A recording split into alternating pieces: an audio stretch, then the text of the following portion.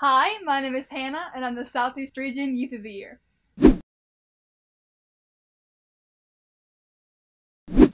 What's your favorite color?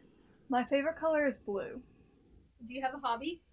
I love to read. I think I could read all day if I could. What is the song you can't stop playing?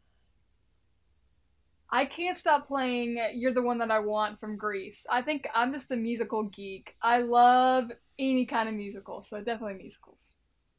What are some words to live by? Always stay strong. No matter what happens in your life, just stay strong and know that you can get through it.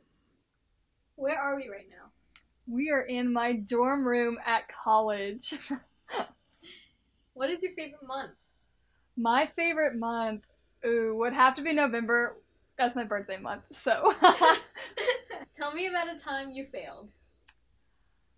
you know, when I was in high school, I tried to um, do hurdles for the first time, and I I was not good. I was not good at jumping the hurdles, and I just kept practicing and practicing, and now I currently hold a record at my school. So Last place you traveled to? The last place I traveled was Washington D.C. for the National Youth of the Year competition.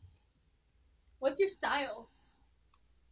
You know, I think I have more than one style. There's like kind of a laid back Hannah with uh, sweatpants on, but then there's also the dressy kind of Hannah. So this depends on the day and the weather, I guess. What's a trend you've been digging lately? Um, I think the duck boots. I've never had like those rain boots, you know, and so I got some this year, and they're really warm, and I love them a lot. Thanksgiving in three words. My birthday, yay! What's something you're grateful for? I'm grateful for my family and just all my family and friends. Tell me something that scares you. I'm terrified of spiders and snakes. What's a weird thing you and all your friends say? I think we say oof. Like, there's this Roblox kind of character, and he walks into a wall, and when he hits it, he goes oof.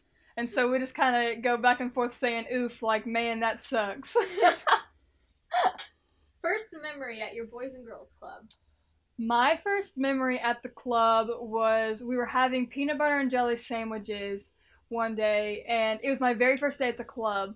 And I didn't have any friends, and I hated the crusts on my sandwich. And I think I was like I was six, but I didn't know how to take the crust off myself. So I kind of just was sitting there, and a person came up to me, and she was like, "Hey, what's wrong?" And I said, "Oh, I can't cut the crust off my sandwiches. I don't like it." And so she crushed it up for me. She cut them off, and she's been my friend ever since. So Mountains or beach? I guess since I was like raised in the mountains, I'd have to say the mountains. What's a goal you're chasing? My goal is just to be a light to others, just trying to shine throughout all the darkness that's around them. What does the holiday season mean to you?